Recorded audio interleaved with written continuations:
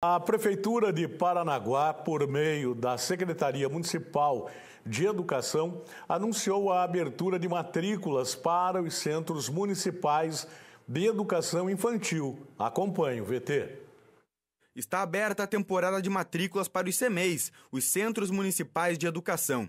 As inscrições estão ocorrendo na Arena Albertina Salmão e é considerada a disponibilidade de vagas para o processo que terá início pelas crianças do infantil 4 e 5. A Secretaria de Educação eh, divulgou na semana passada um edital de chamamento para efetivação das matrículas de crianças de 0 a 5 anos, mais especificamente nas, nos Centros Municipais de Educação Infantil, que são os nossos CMEs. Então, nós iniciamos aqui na Arena Albertina hoje, dia 4, no período da tarde, e seguiremos efetivando as matrículas até o dia 13 de dezembro. Como é que esses pais sabem que eles devem vir aqui? Eles vão conferir o edital, né, recebeu uma mensagem, confere o edital, o nome está lá, vê certinho o dia e o horário que ele precisa vir e vem até a arena para efetivar essa matrícula.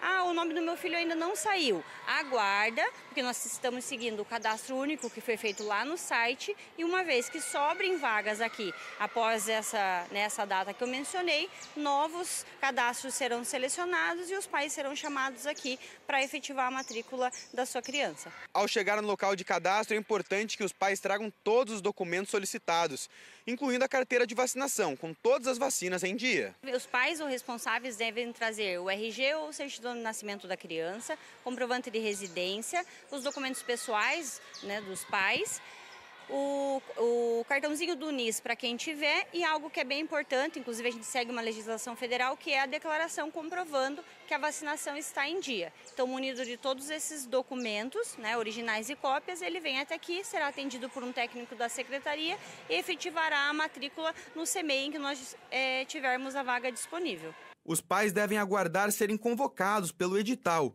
e o não comparecimento ao serem chamados, a criança permanecerá na lista de espera. Já as crianças que completam 4 anos até o dia 31 de março devem sim comparecer à arena para registrar presença.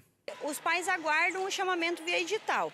Caso ele ainda não tenha sido chamado, é bom ele lembrar que a gente vai efetivando a matrícula semanalmente e assim que a gente é, é, verifique que está sobrando vaga em algum CMEI, a gente logo chama esse pai é, para efetivar. E uma coisa bem importante também, que eu estava esquecendo, é as crianças que têm 4 anos completos até 31 de março de 2024, mesmo que ela não tenha feito o cadastro, ela pode procurar a Secretaria de Educação ou aqui a, a equipe da CEMED que está na arena para ela efetivar.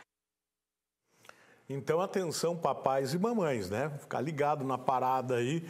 E é importante, tudo é importante, que foi dito na reportagem, mas a exigência com relação às vacinas, isso é importante. Até porque eu acho que essa geração já vai acabar ficando mais consciente do que essa que está por aqui.